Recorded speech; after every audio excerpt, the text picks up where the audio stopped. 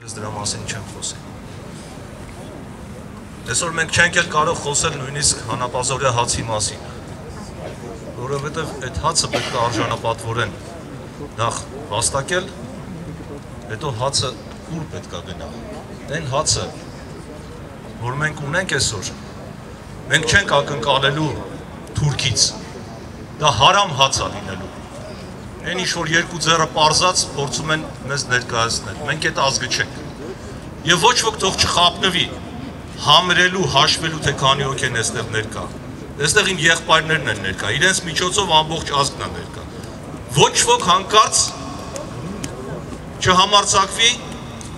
այդ արժեքները դավանող մարդկանց փոքրամասնություն համարվել այսօրվա Հայաստանում։ Ես ուզում եմ խոսել երկու կարևոր արժեքի մասին։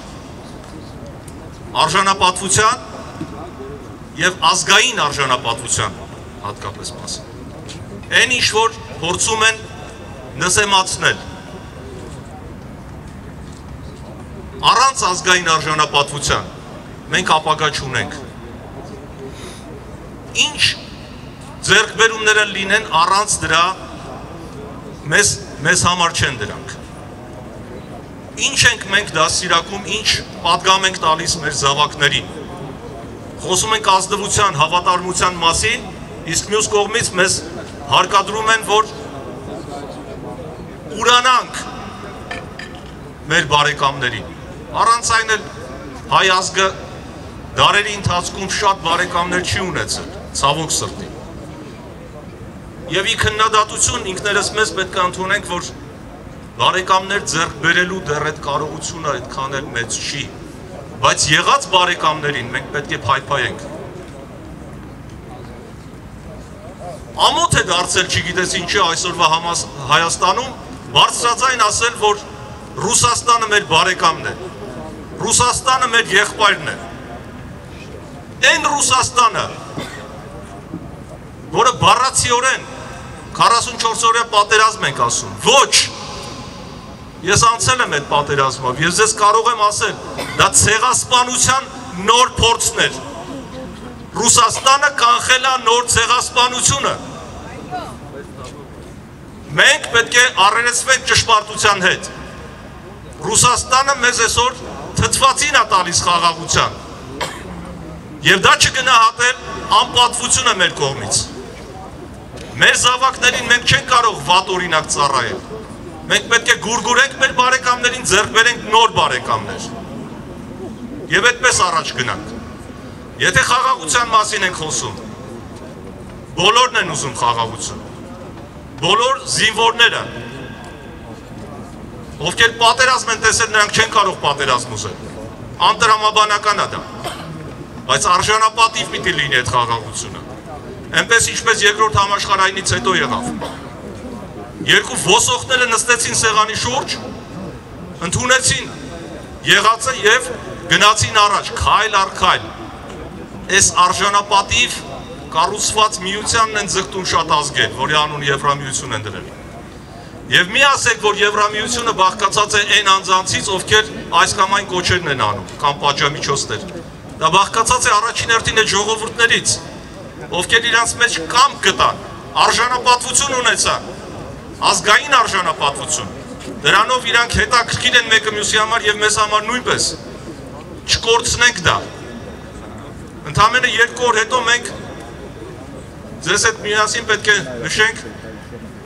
Մարաղայի ցեղասպանության տարելիցը։ Մեր հիշողությունը կարճ չի կարող լինել։ Քանի դեռ կա անկիրթ ոսոխը եւ չի կարելի համատել եվրոպացիների հետ, գերմանացին, ֆրանսիացու հետ կռվեց եւ այլ եւ այլ։ Չէ, սա լրիվ ուրիշ պատմություն է։ Մեջբերումներ չեմ ուզում անել դասականներից, բոլորդ գիտեք։ Թուրքի համար հասկանալի լեզուն ուշն է։ Այո։ Համոզված միայնակը, վճռական միայնակը նշտեհի ասած նա կարող է բարեկամներ ձեռք բերել եւ արժանապատիվ ապրել այս աշխարհում։ Ուրիշ ոչ ոք։ Մենք խաղաղություն չենք մուրում։ Մենք այստեղ ենք, որպիսի մեր աջակցությունը հայտնենք Արցախին, Արցախի հանրապետությանը, Հայաստանի հանրապետությանը եւ մեր բարեկամ երկրին թող Աստված տա բարեկամները շատանան։ Թող Աստված տա։ Ես անձամբ մի քանի եվրոպական երկրների դեսպաններին ուղղել եմ այս հարցը եւ շատ բարձրաստիճան պաշտոնյաներին. Կարող եք ապահովել Հայաստանի անվտանգությունը այսօր ազնիվ են գտնվել եւ ասել են ոչ ազնիվ են գտնվել պատասխանել որ էներգետիկ անվտանգությունը չեն կարող ապահովել իսկ մենք կամ հայազգի ոմանք որոշ բևեռախույզներ եւ այլոք ուզում են մեզ հակառակը համոզել Եվրոպացու անունից հանդես գալ եւ կեղծ մեսեջներ ուղարկել։ Ոչ։ Մեր իրականությունը շատ ավելի հստակ է, քան ուզում են մեզ հեքիաթներով սնուցել։ Ես ուզում եմ ավարտել խոսքս Վազգեն Սարգսյանի խոսքով։ Դավաճանությունից ավելի անընդունելի անտարբերությունը ժողովուրդ, որտեղ 3-4 հոգի հավաքվում են մենք կողքները պիտի լինենք, որտեղ ցավ կա։ Յուղ ու մեղր չեն բաժանում այնտեղ։ Մինչև այս անտարբերությունը մեր մեջ չհաղթահարենք, մեր արժանապատվությունը վերականգնված չի լինի։ Իսկ առանց արժանապատվության մենք 21-րդ դարում տեղ չունենք։ Այն 21-րդ դարում, որ Վազգենի խոսքով մերը պիտի լինի։ Շնորհակալություն։